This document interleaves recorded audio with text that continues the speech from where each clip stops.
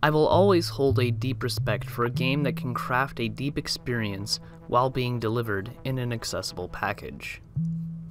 This design philosophy could be described as minimalist. While minimalist games might appear simple at first, designing a truly minimalist game is by no means an easy task. With too many elements, a game will begin to include extraneous mechanics that don't entirely revolve around the central gameplay mechanic.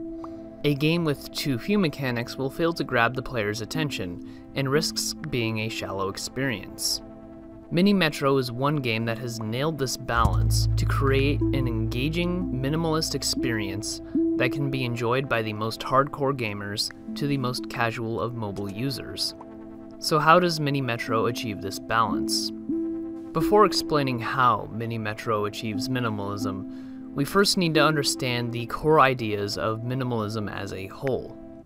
Boiling it down to its most core elements, we see that minimalism is characterized by a simple appearance that strips away unnecessary elements, leaving only the bare essentials that are needed to communicate an idea.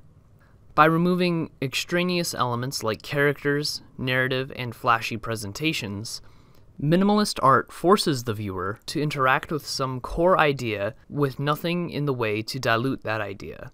Laser focused ideas are the whole point of minimalist art. Minimalism is not subtraction for the sake of subtraction. Minimalism is subtraction for the sake of focus. In general, Minimalist design tries to get the most value out of the fewest elements. This is where Mini Metro comes in.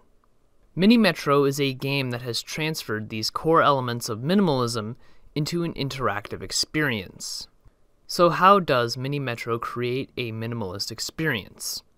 Most importantly, the developers have crafted the game so that each element is in service to the game's central themes. Of course, this raises the question, what are the central themes of Mini Metro?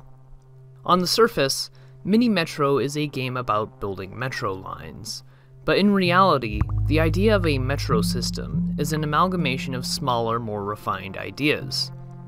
In a GDC talk about the game, artist Jamie Churchman explained that Mini Metro evolved from Robert Curry's experiences reading metro maps to determine the best way to get from point A to point B. As a result, Mini Metro became a game about decoding maps, experimenting with solutions, discovering how a complex system can fit together, and learning the inner workings and emergent properties of that system. These are the core dynamics of Mini Metro, and all of the game's elements exist in service to these ideas. Perhaps the most obvious example of Mini Metro's minimalism can be found in its art style, which evokes the iconic Harry Beck tube map, which simplified the realistic yet complex Metro map into a simple, understandable pamphlet. Mini Metro's graphic design does everything it can to present the player with the information that they need in the most minimal way possible. An example of this can be found in how the game informs the player of errors. In earlier versions of the game, errors could appear in two places. One error would appear on the mouse cursor, and another would appear on the side of the screen. The designers cut the error on the side of the screen because it was redundant, unnecessary, and distracting. The designers also designed their error messages like a bad magic trick. Good magicians create a distraction to redirect people's attention away from what is actually important. However, in Mini Metro, if the player tries to build a line that violates the rules, the error will appear on the player's cursor, because that's where the player's attention is going to be. This error does such a good job at informing the player of the game state that the other errors could be cut without hampering the game's ability to communicate with the player. The rest of the visual design is similarly minimal, since the player doesn't need to know how many spare locomotives, lines, and tunnels they have at all times, these UI elements are hidden until the player needs this information. Abstractions play a large part into the visual appeal of Mini Metro. Without abstracting the concept of a metro station into simple shapes, the game couldn't achieve such a simple aesthetic. The game's use of simple symbols keeps the game easily readable at all times. The music also reflects the game's minimalist goals. Not only did Disasterpeace create a soundtrack which sounds interesting to listen to, but they also made a soundtrack that could inform the player about the state of the game. When a station is spawning in, a special sound effect is played, so the player cannot miss it. The same is also true for passengers. However, since that information isn't as important as a new station is, it is significantly less noticeable.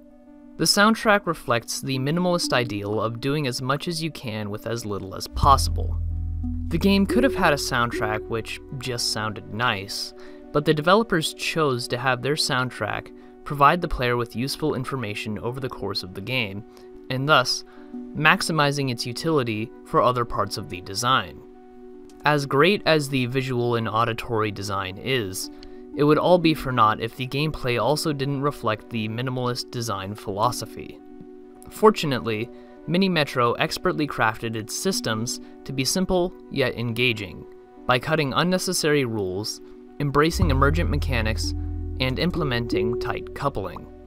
Mini Metro is governed by a set of very simple rules. Players draw metro lines to connect their stations together. Trains run along those metro lines, picking up passengers and taking them to their desired stations. If a line crosses the water, you need to have a tunnel. Every week you get a new train and a additional choice between two separate upgrades. If a station has too many passengers, it will become overcrowded, and if it stays that way for too long, the game will end. That's essentially all the rules of Mini Metro. These simple rules give the game a low perceived complexity, making it accessible for a wide range of people. While Mini Metro does have a low perceived complexity, the game has crafted its system to create a surprising amount of depth, showing that depth doesn't need to be sacrificed for accessibility. This depth comes from the emergent properties of the system. For instance, there are many different kinds of stations, some of which are more common than others. If a line has too many of a particular kind of station, this will lead to problems, since the train can only hold on to so many people, and if the train doesn't have opportunities to drop off its passengers, it will pass over these stations, leaving these stations at risk to become overcrowded.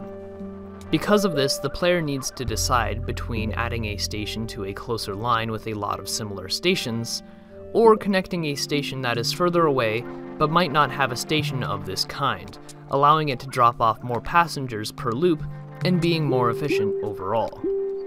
Perhaps the player decides to add the station to the closer line, but moves a different train off of another line to compensate for it. This complex decision arises out of Mini Metro's simple rules, but provides the player with a deep problem to overcome. The game doesn't put any restrictions on how the player constructs their metro, allowing for a wide range of player actions that the developer did not explicitly code into the game. Of course, some of these solutions are going to be better than others, and a large part of the game is experimenting to discover which solutions are the best in the long run, which helps support the game's core ideas. Tight coupling is another technique that Mini Metro uses to get more depth out of its small number of systems. Tight coupling describes a system where interaction with one element will ripple out and affect other parts of the system. The upgrades at the end of the week will significantly impact how the player can build the rest of their metro. Perhaps the player should take the tunnels, so that they can connect two of their lines together, or maybe they should take the extra line, to take some pressure off of another line. Tightly coupled systems will ensure that the player needs to consider how one choice will impact the system as a whole, and this will lead to deeper, more interesting decisions overall. Mini Metro's emergent and tightly coupled mechanics work together to create an experience that is easy to learn but difficult to master, which is always the sign of a good game. Mini Metro shows us some of the advantages of the minimalist design philosophy. It is able to use its mechanics to focus on a core set of themes with a laser focused clarity. At the same time, Mini Metro shows us that having minimal mechanics and deep gameplay aren't mutually exclusive. In fact, Mini Metro's simplicity is what makes it so powerful, since there is nothing in between the player and the game's central ideas. There are no tacked on RPG leveling systems, upgrade trees, or superfluous graphics.